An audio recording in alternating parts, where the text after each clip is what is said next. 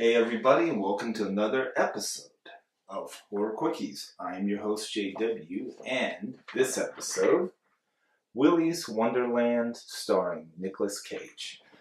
I have to be honest with you, um, really wasn't a fan of Mandy, but I liked the trailer for this, and obviously the comparison to Five Five Nights at Freddy's, you know, I was interested, and I'm going to be honest with you, pleasantly surprised. I have heard a lot of my, uh, a lot of friends of mine on Facebook and uh, here in hometown really didn't care for this film. Um, the movie is about a quiet loner played by Nicolas Cage who finds himself stranded in a remote town when his car breaks down.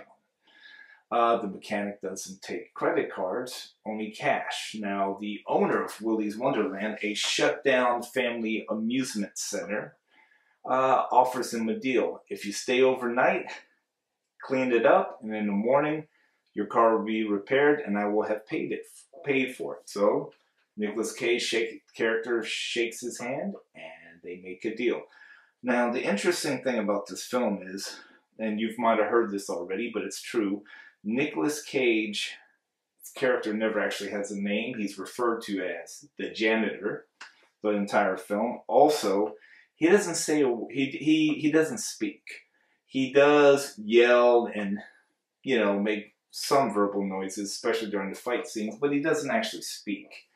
And I knew that going into this film, and I was thinking, okay, how's this going to work? It worked perfectly. It was really good. His character, the janitors, is pretty damn badass. Anyways, as you imagine, he sets about cleaning Willy's Wonderland. Meanwhile, a bunch of teens, led by the sheriff's adopted daughter, decides they want to try to stop this uh, monthly sacrifice thing, which is really what it is all about. The townsfolk uh, want to satisfy Willy and his animatronic minions by uh, giving them sacrifices.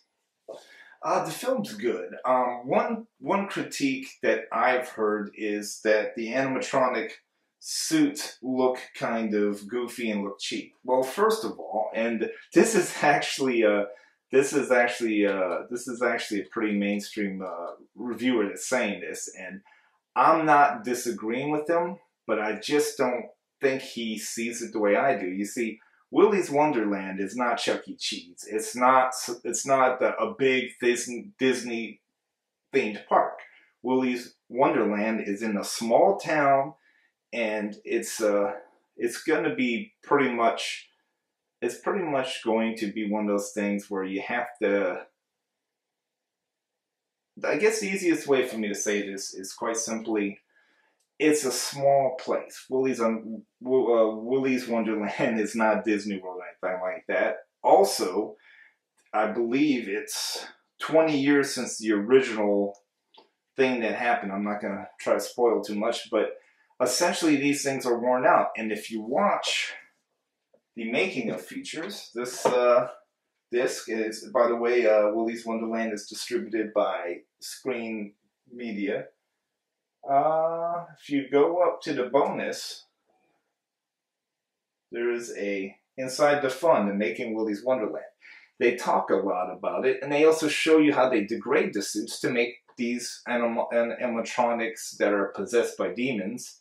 Uh, they degraded them on purpose because they're supposed to look old and worn. And like I said, it, it, so I don't understand what that crit critic was saying, but that's his opinion. I'm just merely giving you guys mine. I'm not trying to bash that guy. Okay, on set tour. Uh, Darkness and the Demonotrons. I guess that's what they're, they're, they're calling Willy and his buddies. Production design of Willy's Wonderland. Fresh meat, the cast, the theatrical trailer. Teaser character artwork gallery. Character posters graphics gallery Production Design Gallery. Willy's Wonderland is one of those movies that doesn't take itself seriously.